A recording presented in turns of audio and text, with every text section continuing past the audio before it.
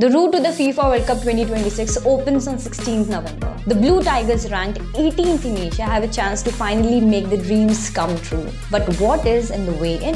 India is drawn in Group A of the FIFA World Cup 2026 preliminary joint qualification round 2, where they'll play Qatar, Kuwait, and winners of the match between Afghanistan and Mongolia in a double round robin format on a home and away basis. The road is simple but difficult. Finish in the top two of the group and progress to round 3, thereby confirming a place for the 2027 AFC Asian Cup. Now, here in the round 3, all the qualified 18 members will be divided into 3 groups of 6 teams each. Finishing top 2 here means we get to witness the Blues in the World Cup for the first time.